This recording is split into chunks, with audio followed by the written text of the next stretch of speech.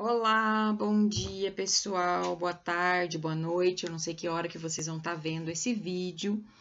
Em todo caso, estou aqui para explanar a vocês. Falei com a Camila e ela disse que achava mais interessante se a gente falasse um pouco mais ou que se tivesse vídeo. Por enquanto, a gente ainda está se adaptando também com essas novas modalidades. É mais fácil estar à frente de vocês em sala de aula né? Mas, em todo caso, as informações estão sendo passadas, tá bom? Bom, neste, nesta aula de hoje, nós vamos falar sobre transformações de um alimento, técnicas de conservação de um alimento, aditivos alimentares e as curiosidades nas conservações de alguns alimentos. Tá? Então, é, como são muitas etapas, talvez se ela ficar uma aula muito longa, a gente vai distribuir isso como se fossem duas aulas tá? E aí eu vou dar uma atividade essa semana e outra atividade do mesmo assunto na semana que vem, tá ok? Então não precisem ficar apavorados com o conteúdo, só prestem atenção naquilo tudo que a gente tem para fazer. Lembrando que também tem disponível para vocês uma biblioteca virtual, um monte de bibliotecas e artigos, tem vários sites na internet que falam sobre o assunto, então Cada vez que vocês tiverem alguma dúvida e tudo mais, vocês podem procurar e podem entrar em contato comigo. Eu estou tentando agendar para gente uma aula na quinta-feira, no, no, horário da nossa aula, pelo menos um, uma reuniãozinha de grupo para a gente conversar. Por isso, eu pedi os e-mails de vocês da instituição para que a gente fizesse essa reunião e todo mundo pudesse ver a carinha um do outro, seria bem legal nesse momento onde a gente está bem isolado em casa, a gente fica se sentindo mais, é, mais em conjunto, tá ok? Então vamos lá, começamos. Bom, os objetivos dessa aula são apontar como acontecem as transformações dos alimentos, né? Relacionar esses alimentos às respectivas técnicas de, de, conservação, identificar os aditivos alimentares presentes nos alimentos e indicar as técnicas que são usadas para preservar esses é importante a gente falar que, como ocorre a transformação dos alimentos, a gente já tinha dito antes, era importante lembrar do processo da digestão. Então, quando a gente falou dos carboidratos, das proteínas, dos lipídios, lembra que a gente disse que é, eles estavam é, na forma maior, então é preciso ter uma quebra durante o processo da digestão para que eles sejam absorvidos.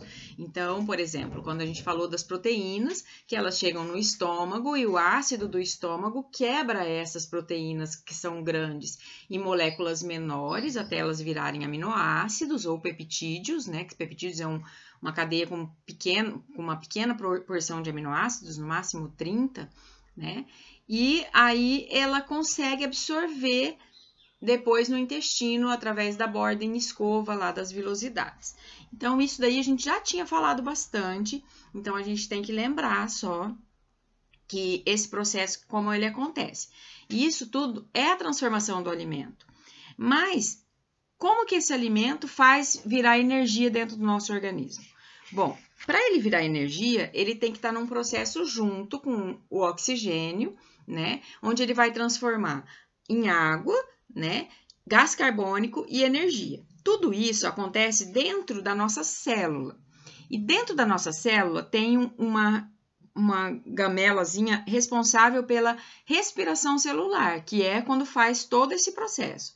Essa chama mitocôndria. Então, muitas vezes a gente vai falar que, é, a gente vai ouvir falar nas, quando a gente fala em microbiota e tudo mais, que é importante que a gente tenha micro, mitocôndrias boas, né? Que a gente tenha muitas mitocôndrias no nosso organismo, porque uma alimentação saudável traz bastante mitocôndria. Então, tudo isso são coisas que a gente vai ouvir muito falar, né? Porque essas mitocôndrias, essas partezinhas pequenininhas da nossa célula, são as que são responsáveis pela energia nossa corporal, pela nossa vitalidade, pela gente estar tá é, vivo, né? Lembrando que a gente gasta energia do nosso corpo, inclusive quando ele está dormindo porque a gente gasta energia para manter a reposição celular, para manter o cérebro funcionando, para manter o coração batendo. Tudo isso a gente precisa de energia.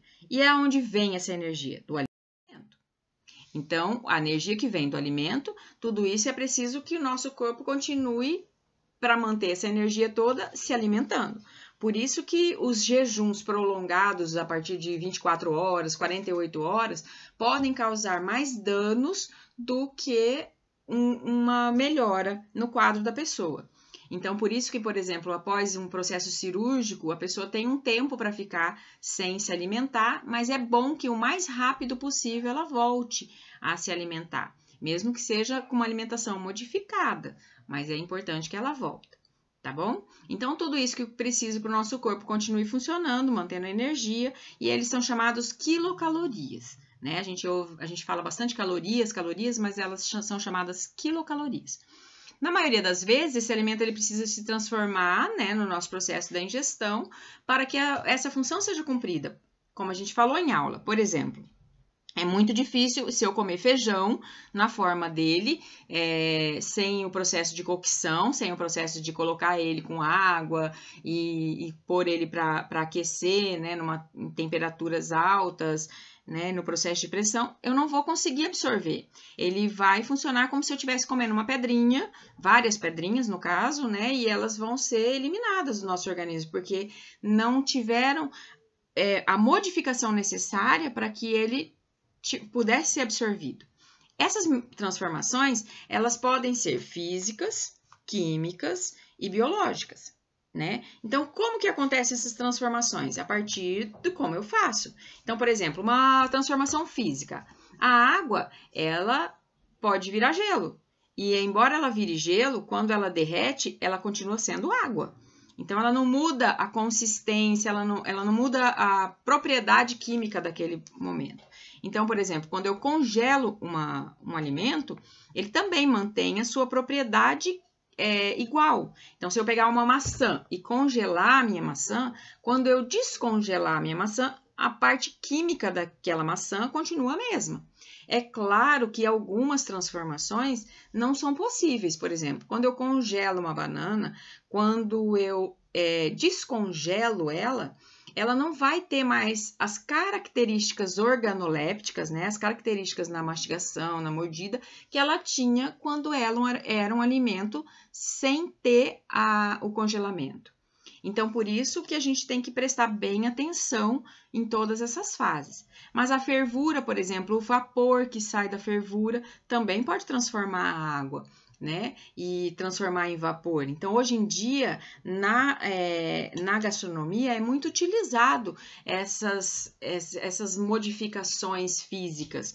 Por exemplo, transformando um alimento em espuma, né? Vocês já ouviram falar em espuma de gengibre, né? Que é, ele foi modificado fisicamente, né? Para poder ter uma, um, um um parecer diferenciado, até às vezes para guardar, para manutenção, né?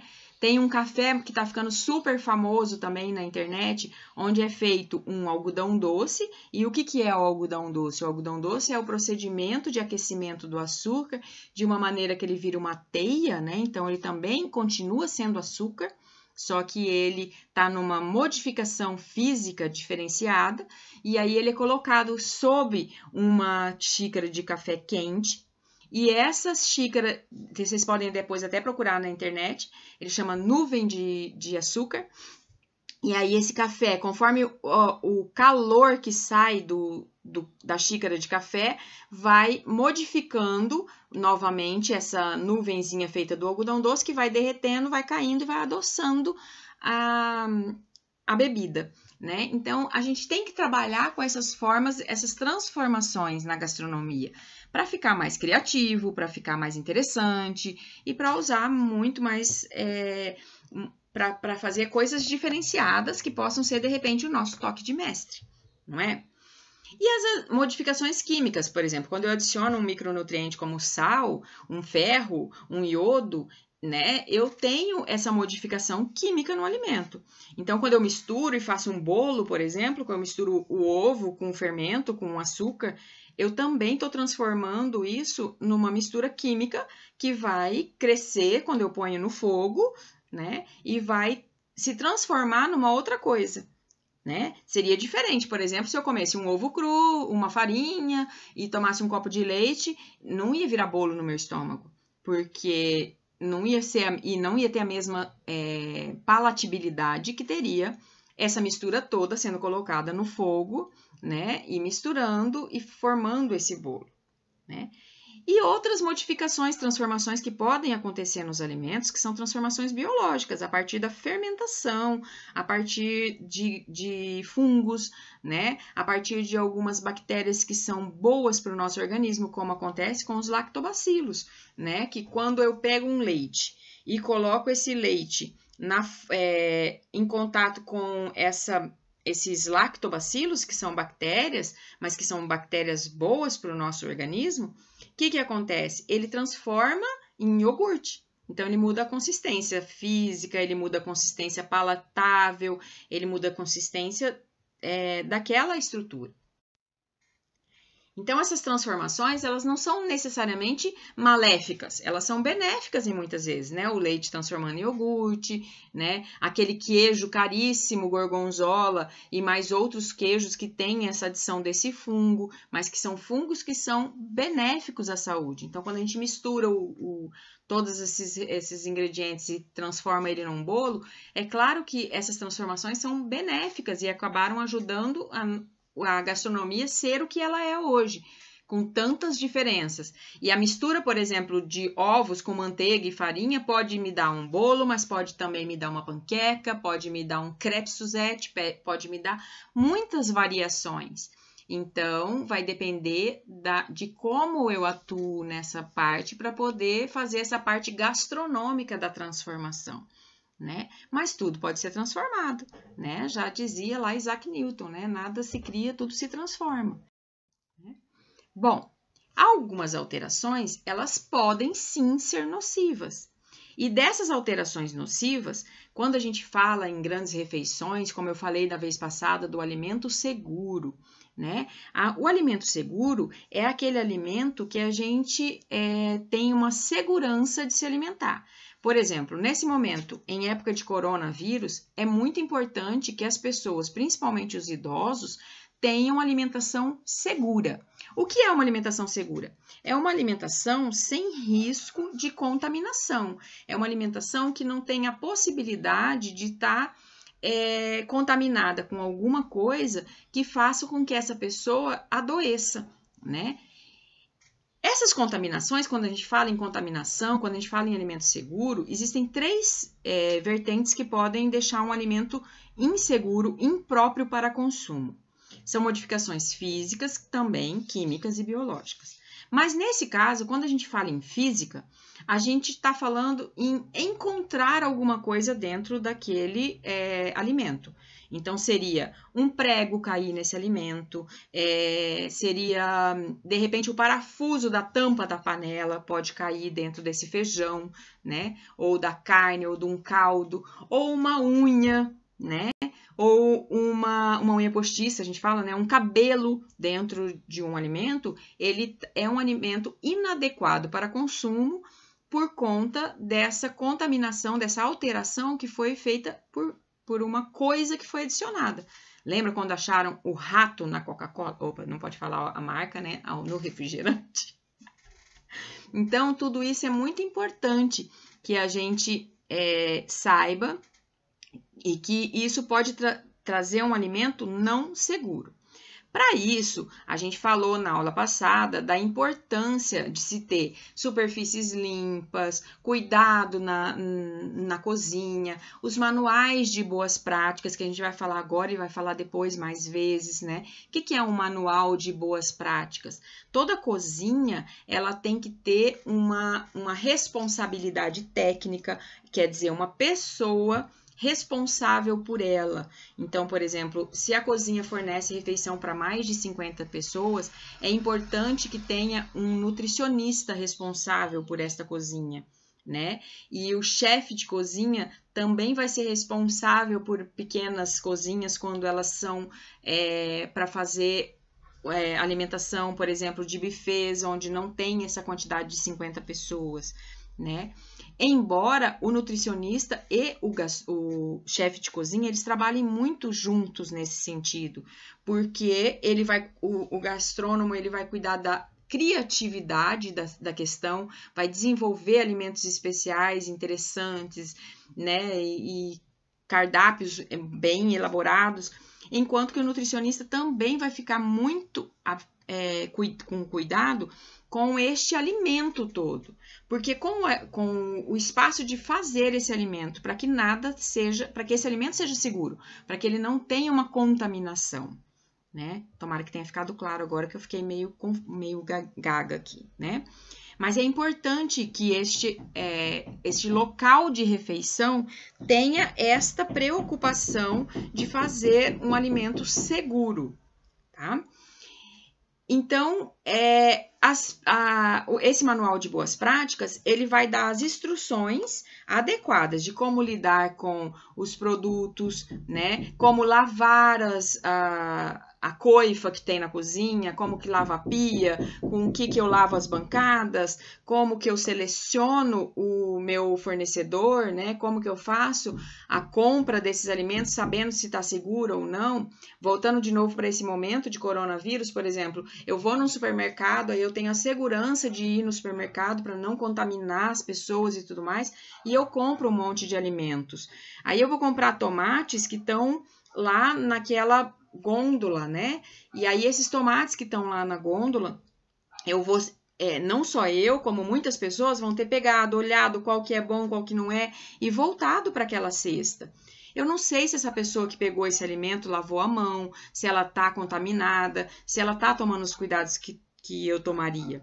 Então, o que acontece? Quando eu chego em casa com esses alimentos, além de ter o cuidado comigo, por exemplo, de chegar em casa, tirar o sapato, é, passar álcool nas mãos e tudo mais, eu tenho que higienizar, eu tenho que limpar novamente esses alimentos que eu comprei para que eles não sejam uma contaminação. Então, por isso que muitas vezes até a nossa avó já falava, muitas pessoas já falavam que tem algumas coisas que não podem ser colocadas direto na geladeira, por exemplo. Não é possível que eu chegue da feira com aquela sacolinha da feira e coloque aquela sacolinha da feira dentro da minha geladeira, porque daí tudo que estava contaminado eu estou colocando para dentro da minha geladeira e aí vai ficar mais difícil eu fazer a limpeza da minha geladeira inteira só pra, é, por conta daquela sacolinha que eu coloquei. Então, é muito melhor que eu tenha esse cuidado de toda vez que chega um alimento, eu lave esse alimento, eu higienize esse alimento e eu passe esse alimento para dentro do meu, da minha geladeira ou do meu, do meu armário ou do lugar que ele for guardado. Tá ok? Bom, outra alteração que pode acontecer é a alteração química quando tem, às vezes, uma alteração química simples, mas a adição de um excesso de sal nesse alimento eu posso estragar esse alimento. Não estragar no sentido de dele estar tá, é, contaminado, mas ele vai estar tá impróprio para consumo. Quem que consegue comer de repente um alimento que está com uma quantidade de sal tão excessiva que é impossível, que chega a arder a boca? Então eu tenho que ter isso em consideração para saber que, que isso pode estragar. Ou então, às vezes, na hora de guardar o meu produto, eu não tenho espaço suficiente, então eu guardo lá um sabão em pó e perto eu guardo um pacote de farinha. É provável que essa farinha vai ficar com gosto de sabão em pó, então eu vou ter um alimento que de repente na hora de fabricação dessa, desse pão ou dessa coisa com farinha que eu for fazer, eu vou ter um alimento que não vai ter o sabor que ele deveria ter. E aí ele vai ser um alimento ruim, né? Não vai ser um alimento próprio para consumo, novamente. Né? Do mesmo jeito, ele pode também estar contaminado quimicamente por alguma outra coisa, por exemplo, um detergente, um sabão mesmo, né? Na hora que eu lavei a panela, eu não tirei todo o sabão daquela panela, né? Ou então, como vocês sabem, que, por exemplo, panelas de cobre, elas têm que ter um procedimento na limpeza, na higiene, que, não, que pode fazer com que se solte o cobre no alimento, e isso pode ser nocivo, né? Pode estragar todo um, um doce, por exemplo. Então, tudo isso a gente tem que é, saber como que faz. E aí, é, como que faz para ter isso de maneira adequada? De maneira adequada, vai estar tá escrito neste manual de boas práticas tá ok? E aí temos também a contaminação biológica, que é a contaminação bacteriana, fúngica ou viral, diferente daqueles é, nocivos que a gente até falou na aula passada, dessas bactérias que podem ser boas para o nosso alimento e que ajudam na fermentação, como na cerveja, no vinho, né, em tantas coisas. Neste momento, seriam contaminações que não seriam é, boas. Então, seriam fungos, mas fungos por conta da, da temperatura incorreta, que ficou, do tempo que ficou exposto. O binômio tempo e temperatura é uma coisa importantíssima dentro de um processo de cozinha. Então, quando a gente fala em alimentação, tudo a gente tem que ter muito cuidado com tempo e temperatura. O tempo de exposição de um alimento numa bancada pode deixar, deixar com que ele esteja é, fácil para a bactéria. Porque lembra que as bactérias, é, eu acho que lembro, vocês lembram daqui dos estudos lá da sexta série e tudo mais, que é, ah, quando a gente fala em bactérias, bactérias elas se alimentam das mesmas, dos mesmos alimentos que a gente se alimenta, né? E elas gostam de temperaturas morninhas, né? Elas gostam de, de, de bastante tempo para se expor, né? Então, quanto mais tempo fica exposto e quanto mais é, eu tenho contaminações, né? Quanto mais o tempo e a temperatura for boa para essa bactéria, mais ela vai, vai crescer ali dentro. E aí, se eu tenho tudo isso para conservar e cuidar desse alimento, como que eu faço para manter um alimento seguro num processo de conservação? Eu fiz um bolo e aí eu quero guardar esse bolo. Como que eu faço para guardar esse bolo? Então, tudo isso leva em consideração todo o processo também que foi feito para ele ser elaborado. Então, eu tenho que levar em conta que o meu bolo, na hora de eu fabricar meu bolo, eu tenho que estar com a bancada limpo, liquidificador lavado, muitas vezes esterilizado, se é uma grande indústria. Eu tenho que ter toda uma organização, né, na minha bancada, na hora de pôr os ingredientes, de bater a massa, de assar, para que este alimento tenha uma vida útil melhor.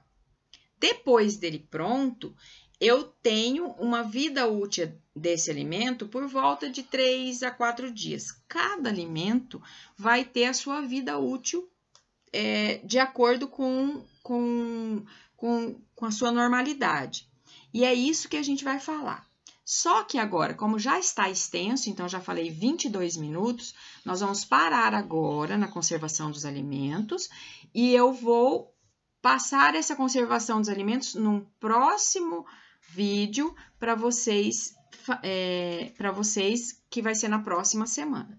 Se vocês quiserem já se anteciparem e ver os slides, tudo bem, não tem problema. Mas essa é, conversa junto com o slide, eu acho que seria bom se a gente marcasse que a aula foi até aqui. E depois daqui a gente vai ter uma próxima aula. Tudo bem para vocês? Já já eu passo a tarefa. Um beijo!